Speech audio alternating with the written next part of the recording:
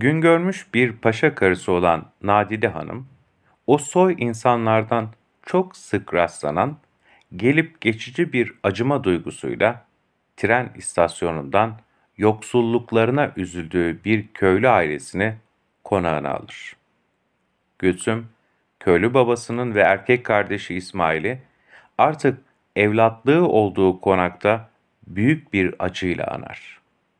Babası ve kardeşi onu bırakıp gitmişlerdir.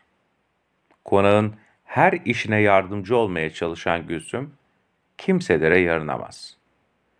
Boyuna aşağılanır.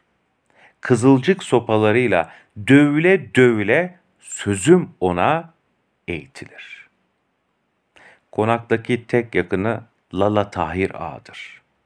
Ömrü bir anlamda Gülsüm'ünkine benzeyen Tahir Ağa, Gülsüm'e hırsızlığın yöntemlerini öğretir.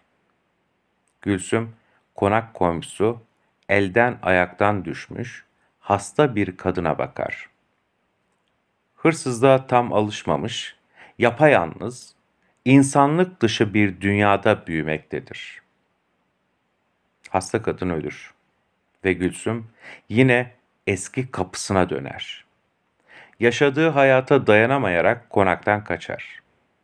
Gülsüm'ün kaçışı konaktakileri fazla etkilememiştir.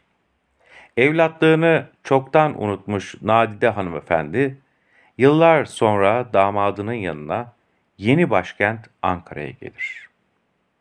Bir gün bütün aile, ünlü kantocu Mücella Suzan'ı izlemek için tiyatroya giderler.